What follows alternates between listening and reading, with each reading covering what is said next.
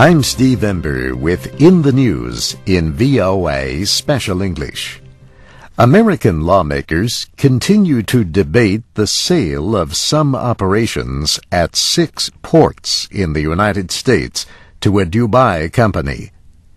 Democrats want Congress to have the right to disapprove the deal.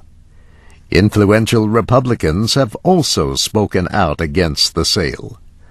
There are calls to make national security more of a concern in approving foreign investments in the United States. But leaders of the Republican majority in Congress say they want to wait until a new investigation is completed before they consider any measures. The Dubai Ports World Company has agreed to delay taking control of the operations until after the 45-day investigation. The sale involves port terminals where goods are loaded and unloaded from ships.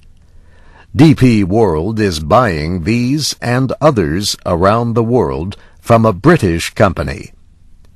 On Thursday, a British High Court judge approved the sale of the Peninsular and Oriental Steam Navigation Company. But he agreed to place a hold on the ruling until a Miami-based company can go before the Court of Appeal. Eller and Company objects to the sale, which it says could harm its business. The court is expected to hear a request for an appeal on Monday.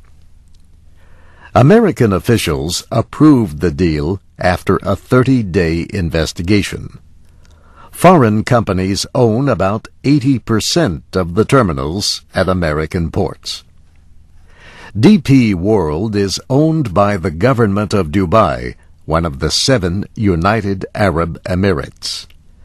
Critics say the UAE has a mixed record in fighting terrorism. Others argue that the deal will have little effect on port security.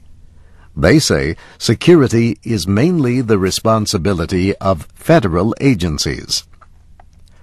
The American Association of Port Authorities represents public agencies that own ports around the country.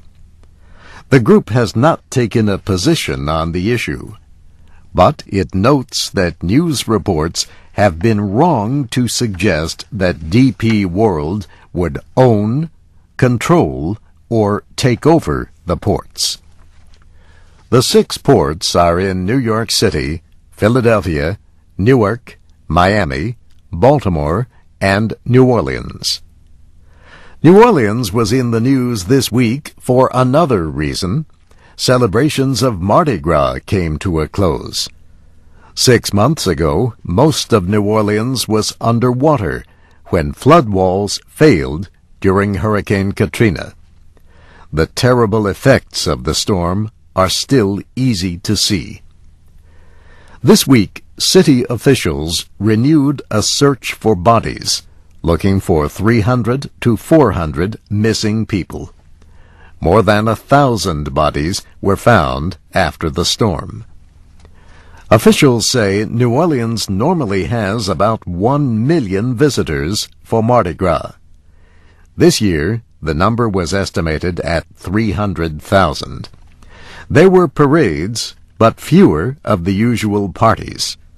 Store owners say their sales are down about 40%. For a full report on New Orleans after Katrina, Listen at this time for This is America on Monday, March 13th. In the News in VOA Special English was written by Nancy Steinbach. Read and listen to our reports at voaspecialenglish.com. I'm Steve Ember.